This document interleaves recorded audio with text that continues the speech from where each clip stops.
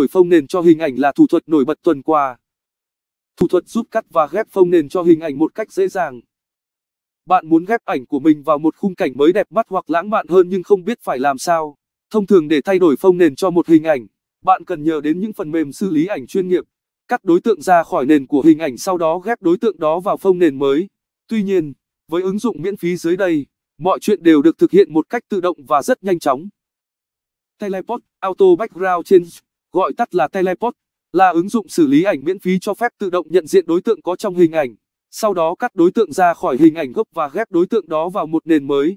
Người dùng có thể chọn sẵn các hình nền do ứng dụng cung cấp hoặc lựa chọn hình nền của riêng mình, để có thể tạo ra những bức ảnh độc đáo và thú vị. Với người dùng Android, download ứng dụng miễn phí tại đây hoặc tại đây. Tương thích ANDROID 44 trở lên. Xem hướng dẫn cách dùng ứng dụng đã được dân trí giới thiệu tại đây. Ứng dụng lịch thi đấu thông minh Copa America 2019 dành cho các tín đồ bóng đá. Copa America năm nay được tổ chức tại Brazil, kéo dài 15 trên 6 đến ngày mùng 7 tháng 7. Quy tụ 12 đội bóng chia ra thành 3 bảng đấu. Đáng chú ý bên cạnh các đội bóng của Nam Mỹ thì năm nay, giải đấu có thêm hai đội bóng khách mời đó là Qatar, chủ nhà World Cup 2022, và đội bóng đến từ châu Á Nhật Bản.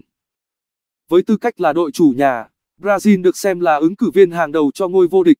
Dù ngôi sao sáng nhất của đội bóng là Neymar lại gặp chấn thương trước thềm giải đấu, điều này có lẽ vẫn không ảnh hưởng quá nhiều khi Brazil vẫn sở hữu nhiều ngôi sao sáng giá khác. Trong khi đó Messi cùng các đồng đội cũng đang rất muốn lên ngôi vô địch giải đấu để Messi đạt được danh hiệu vô địch đầu tiên với đội tuyển quốc gia trong bối cảnh anh đã có rất nhiều danh hiệu ở cấp câu lạc bộ. Nếu là tín đồ của túc cầu giáo hẳn sẽ không thể bỏ qua giải đấu này, nhưng làm sao để có thể cập nhật lịch thi đấu cũng như kết quả, xếp hạng, các đội lọt vòng đấu loại trực tiếp, một cách nhanh chóng và tự động mà không cần phải tính toán bằng tay. Bộ lịch thi đấu Copa America 2019 thông minh dưới đây sẽ là một công cụ mà bạn không nên bỏ qua trong mùa bóng đá này.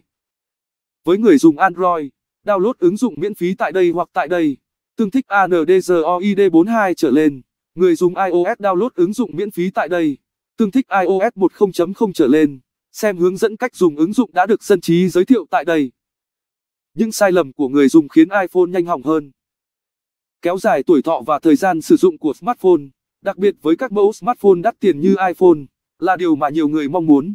Tuy nhiên dù bạn bảo quản và sử dụng chiếc điện thoại của mình cẩn thận đến đâu, nhưng những sai lầm ngay trong cách sử dụng điện thoại cũng sẽ làm ảnh hưởng và rút ngắn tuổi thọ của sản phẩm.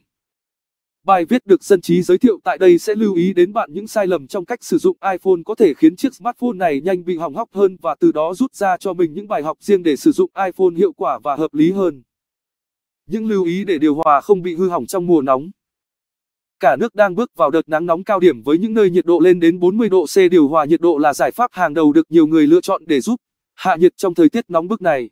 Tuy nhiên, trời càng nóng càng khiến điều hòa phải hoạt động hết công suất.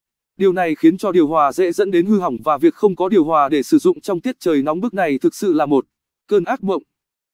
Bài viết được dân trí giới thiệu tại đây sẽ cung cấp đến bạn một vài lưu ý để tránh không làm cho điều hòa bị hư hỏng trong mùa nắng nóng, giúp bạn có thể vượt qua những đợt nắng nóng cao điểm với kẻ hầu cận điều hòa. Phạm Thế Quang Huy